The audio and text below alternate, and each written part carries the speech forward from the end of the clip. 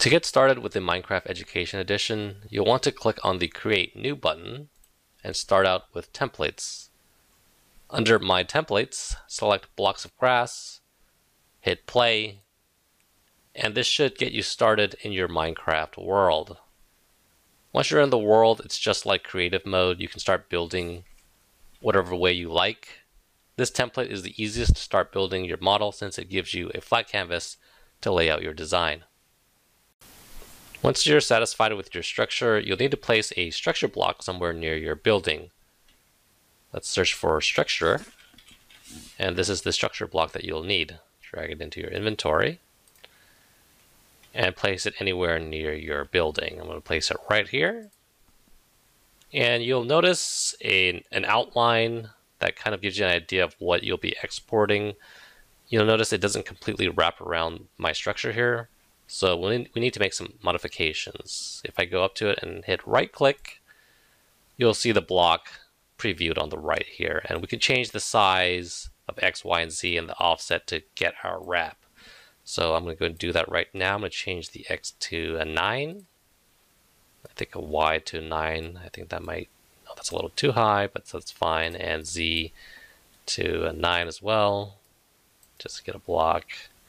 Looks like we're pretty close. Uh, we're a little too far up, so I'm going to change the Y offset here to go lower, maybe negative 6.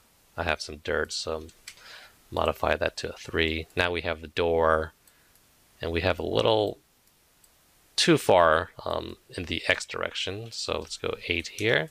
And there we have it. So now a complete wrap around the building that I'm going to export. Once you're satisfied with the export area, simply click on export and save it wherever you like. I'll have it saved under Documents, GLBs, and I'll have this saved as Digital Twin Design Challenge.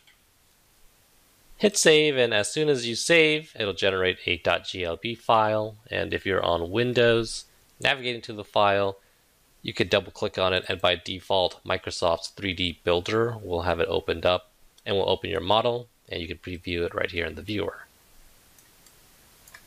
Now this file format is not yet compatible with our iTwin viewer yet, so what we need to do is export it as an OBJ file. And you can do that by clicking on the Files tab at the very top left corner here, clicking on Save As. And what's very important to do is you want to save this file in the 3D Objects directory, since the 3D Builder application only has permissions to write to this directory. If you save it anywhere else, you'll have to constantly keep allowing permissions for the application, which can get a bit annoying. So I'll have this saved as the .obj format. And file name, you can keep it the same. Hit save here. And once that's saved, if we go to our 3D objects directory now, you'll notice all the files, textures, MTL, and the OBJ dumped into this directory.